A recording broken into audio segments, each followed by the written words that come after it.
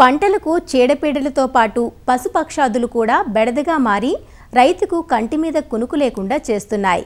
సాధారణంగా పంటలకు ఎలుకలు పక్షుల నష్టం ఎక్కువగా ఉంటుంది. అయితే ఇటీవలి కాలంలో పంటలపై అడవి జంతువులైన ఎలుగుబంట్లు అడవి పందులు కోతుల బెడద ఎక్కువగా ఉండి రైతు కష్టాన్ని ఆరగించేస్తున్నాయి. ఇవి రాత్రి వేళల్లో మూకుమ్మడిగా వచ్చి పంటలను ధ్వంసం చేస్తుంటే ఏమీ చేయలేని నిస్సహాయ పరిస్థితి. అడవి జంతువులను చంపడం చట్టరీత్యా నేరం. కాబట్టి రైతులు వీటిని పారద్రోలేందుకు రేయింబవళ్ళు పొలాల వద్ద కాపు కాయించడం బెదరకొట్టడం చేస్తూ ఉంటారు. సోలార్ కంచులు ఏర్పాటు చేసుకోవడం శబ్దాలు చేసే హూటర్లు తుపాకులు వాడటం వంటి ఎన్నో ప్రయత్నాలు చేస్తుంటారు. ఈ పరిస్థితిని అధ్యయనం చేసిన ప్రొఫెసర్ జయశంకర్ తెలంగాణ రాష్ట్ర వ్యవసాయ విశ్వవిద్యాలయం శాస్త్రవేత్తలు వన్యప్రాణుల నుంచి పంటలను కాపాడుకునేందుకు తాజాగా ఒక పరికరాన్ని అందుబాటులోకి తెచ్చారు. బయో ఎకోస్టిక్ పేరుతో పిలుస్తున్న ఈ యంత్రం పనితీరు ఎలా ఉందో రైతులకు ఏ విధంగా ఉపయోగపడుతుందో ఈనాటి కార్యక్రమంలో చూద్దాం.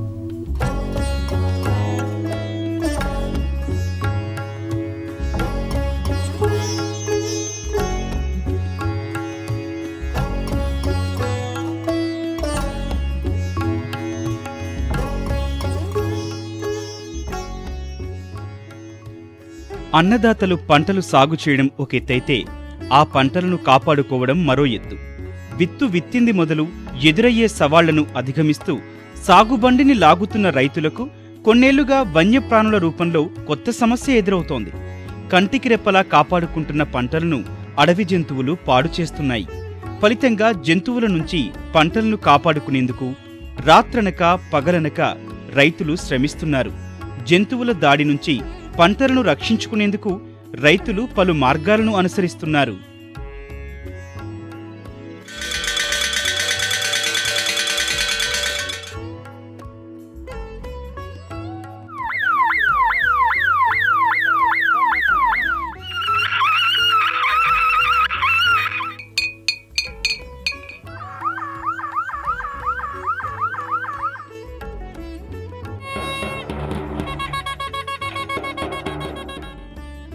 ఇలా ఎవరి వెసులుబాటును బట్టి వారు పలు పద్ధతులను ఆచరిస్తున్నారు. అడవి జంతువుల బారి నుంచి పంటలను కాపాడుకునేందుకు ప్రొఫెసర్ జైశంకర్ తెలంగాణ రాష్ట్ర వ్యవసాయ విశ్వవిద్యాలయం శాస్త్రవేత్తలు గతంలో ఒక పరికరాన్ని రూపొందించారు. దానినే మరింత అభివృద్ధి పరిచి బయో ఎకోస్టిక్ పేరుతో ఒక పరికరాన్ని అందుబాటులోకి తెచ్చారు. దీనినే ఆర్తనాద పద్ధతి అంటున్నారు. ఈ పరికరంతో పాటు కోతులను సులభంగా తరిమే గన్ పరికరం కూడా రైతులకు ఎంతగానో ఉపయోగపడుతుందంటున్న శాస్త్రవేత్త డాక్టర్ వాసుదేవరావుతో మా ప్రతినిధి ముఖాముఖి ఇప్పుడు చూద్దాం. సార్ ప్రధానంగా ఈ ఈ పరికరం రూప రూపకల్పనకు ప్రధాన ఉద్దేశం ఏంటి? ఎందుకు ఈ పరికరాన్ని రూపొందించాల్సి వచ్చింది? ఈ ముఖ్యంగా ఈ చూసినట్టయితే కనుక ఈ అడవి జంతువులు అంటే గత ఐదు సంవత్సరాలు ఆరు సంవత్సరాలుగా వాటి బెడద చాలా పంట పొలాలు ఎక్కువ అవటం మూలంగా ఈ అడవి పందుల ద్వారా కూడా ఎక్కువ నష్టం జరుగుతుంది. ఈ నష్టాన్ని మనం ఏ విధంగా తగ్గించి రైతులకి మనం ఏ విధంగా మేలు చేయాలనే ఉద్దేశంతో బయోకాస్టింగ్ అంటే దీన్ని తెలుగులో మనం ఏమంటామంటే ఆర్తనాద పద్ధతి అంటాం. దీంట్లో కొన్ని శబ్దాలు అంటే స్వతహాగా కొన్ని జంతువులు ఆ శబ్దాలకి భయపడతాయి అలాగే తన తన సొంతంగా కూడా కొన్ని శబ్దాలకు కూడా భయపడతాయి అన్నమాట. సో ఇవన్నీ కూడా వాటి మీద పరిశోధన చేసి ఒక నాలుగు సంవత్సరాలు పరిశోధన చేసి ఏ శబ్దాలకి అవి ఏ విధంగా వాటి బిహేవియర్ ఉంటుంది. అవి ఏ విధంగా భయపడతాయి అనేది నిర్ధారణ చేసుకొని ఆ శబ్దాలన్నింటినీ క్రోడీకరించి ఒక ఇన్స్ట్రుమెంట్ ద్వారా అంటే దాన్ని మనం సీక్వెన్స్ తయారు చేస్తాం. ఆ సీక్వెన్స్ తయారు చేసి ఆ సీక్వెన్స్ని మనం తీసుకొచ్చి ఈ ఇన్స్ట్రుమెంట్ల ద్వారా పెట్టామట ఈ ఇన్స్ట్రుమెంట్లో ఏంటంటే దీంట్లో ఒక స్పీకర్ ఉంటుంది. దీంట్లో కనుక ఒక పీసీబీ బోర్డు ఉంటుంది. ఈ బోర్డులో మనము ఆ కాల్స్ మనం ఏవైతే డెవలప్ చేసామో ఆ కాల్స్ ఇన్కార్పొరేట్ చేయటం మూలంగా వీటి ద్వారా వచ్చే శబ్దాలకి అవి అడవి జంతువులు అంటే అడవి అడవి పందులు మనకి పంట పొలాలు రాకుండా ఉంటుందన్నమాట. ముఖ్యంగా ఏంటంటే ఇవి ఇవి రాత్రిపూట సంచరించే జంతువులు కాబట్టి రాత్రిపూట మనం కనుక ఈ ఇన్స్ట్రుమెంట్కి పెట్టుకొని మనం ఆన్ చేసినట్టయితే కనుక మనకి సుమారు ఈ ఇన్స్ట్రుమెంట్ ద్వారా మనకి ఏంటంటే ఎనిమిది నుంచి పది ఎకరాల వరకు మనం పంటను కాపాడుకోవచ్చు.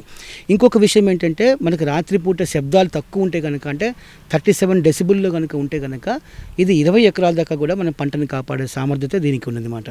దీంట్లో ముఖ్యంగా ఏంటంటే అవి ఆర్తనాదాలు అంటే అవి కష్టంలో ఉన్నప్పుడు చేసే శబ్దాలు అలాగే ఇతర జంతువులు అలా పులులు చేసే శబ్దాలకి ఏ విధంగా రియాక్ట్ అయితే ఆ శబ్దాలు అలాగే కోతులు కొన్ని శబ్దాలు మనకి అవి ఇచ్చే అరుపులకి ఈ జంతువులన్నీ కూడా అలర్ట్ అయ్యే శబ్దాలు. ఇవన్నీ కూడా మనము రకరకాల శబ్దాలన్నీ క్రోడీకరించి ఈ ఎక్విప్మెంట్ని మనం తయారు చేయటము జరిగింది.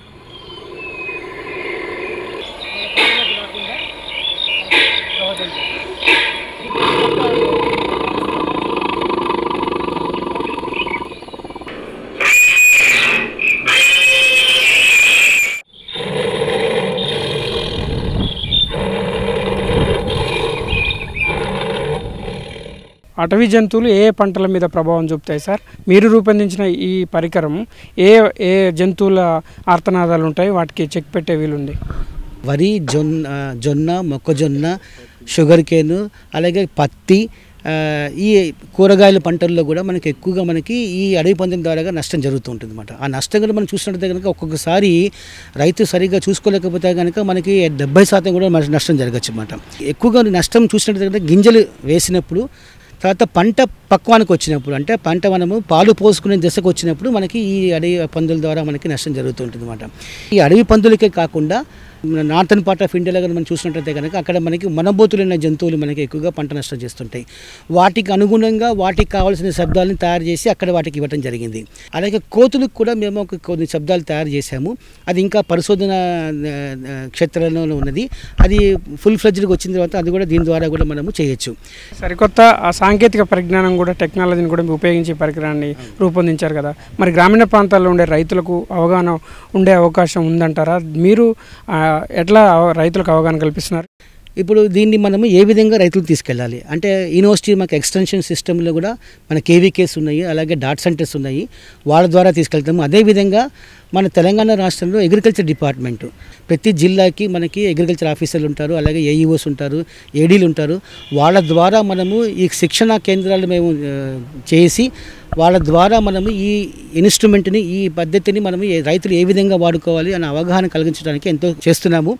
గవర్నమెంట్ ఆఫ్ తెలంగాణ ఆహార పథకం అంటే నేషనల్ ఫుడ్ సెక్యూరిటీ మిషన్లో దీన్ని మనము సబ్సిడీ రూపంలో కూడా మనం దీన్ని తీసుకురావడం జరిగింది. ఈ విధమైన అవకాశాన్ని రైతులందరూ కూడా మనం వాడుకున్నట్టయితే కనుక సమర్థవంతంగా మనము ఈ అడవి పందుల ద్వారా జరిగే నష్టాన్ని మనము కొంతవరకు అరికట్టచ్చు. అదేవిధంగా దాన్ని మ్యాన్ యానిమల్ కాన్ఫ్లిక్ట్ అంటాం. ఈ మధ్య ఈ సమస్య చాలా ఎక్కువగా ఉంది. ఎందుకంటే రైతులందరూ ఏమనుకుంటారంటే వీటిని చంపేయాలనుకుంటారు. చంపటం అనేది మన చేతుల్లో లేదు. ఎందుకంటే ఇది వన్యప్రాణి చట్టంలో ఉంది కాబట్టి చంపకుండా ఆల్టర్నేటివ్గా మనము కొంతకాలం మనము ఈ పద్ధతి ఉపయోగించి అడవి పందుల జరిగే నష్టాన్ని మనము అరికట్టుకోవచ్చు. ఈ పరికరాన్ని రైతుల్లోకి తీసుకెళ్ళేందుకు జిల్లా వ్యవసాయ శాఖ రైతులకు అవగాహన కార్యక్రమాన్ని ఏర్పాటు చేసింది. ప్రస్తుతం మనతో ఆ జిల్లా వ్యవసాయ శాఖ అధికారి విజయ నిర్మల్ గారు ఉన్నారు. మేడం రైతులలోకి ఏ విధంగా ఈ పరికరాన్ని తీసుకెళ్ళబోతున్నారు ముఖ్యంగా ఏంటంటే వ్యవసాయ శాఖ ద్వారా ఈ సంవత్సరం మాత్రమే ఈ పథకాన్ని సెంట్రల్ గవర్నమెంట్ జాతీయ ఆహార భద్రతా పథకం కింద ప్రవేశపెట్టబడింది. ఎక్కడైతే అడవులకు దగ్గరగా ఉన్న మండలాలు ఉన్నాయో అట్లాంటి చోట్ల అడవి పందుల ఉధృతి కూడా ఎక్కువగా ఉంది. ఇవి అవసరం ఉన్న రైతులు సంబంధిత మండల వ్యవసాయ అధికారిని సంప్రదించినట్లయితే దానికి సంబంధించిన విషయాలన్నీ వాళ్ళకి తెలియజేయడం జరుగుతుంది. యాభై శాతం సబ్సిడీ మీద ఈ పరికరాన్ని మనం రైతులకి ఇవ్వడం జరుగుతుందండి. సోలార్ బేస్డ్ అయితే కనుక ఇరవై ఐదు వేల తొమ్మిది వందల అరవై రూపాయలు అయితే పన్నెండు వేల తొమ్మిది వందల ఎనభై రూపాయలు రైతులు కట్టాల్సింది. పవర్ బేస్డ్ అయితే కనుక ఇరవై రెండు వేల నాలుగు వందల ఇరవై రూపాయలకు గాను పదకొండు వేల రెండు వందల పది రూపాయలు రైతులు వాళ్ళ నాన్ సబ్సిడీ షేర్ కట్టుకున్నట్లయితే ఇది మనం రైతులకు సరఫరా సరఫరా చేయడం జరుగుతుంది. కోతుల్ని మనం పారదోలటానికి అంటే మన పంట పొలాలు నాశనం చేయకుండా పోటులను పక్కకు పారదోలటానికి కూడా కోతుల కోసం ఒక గన్ రూపొందించారండి.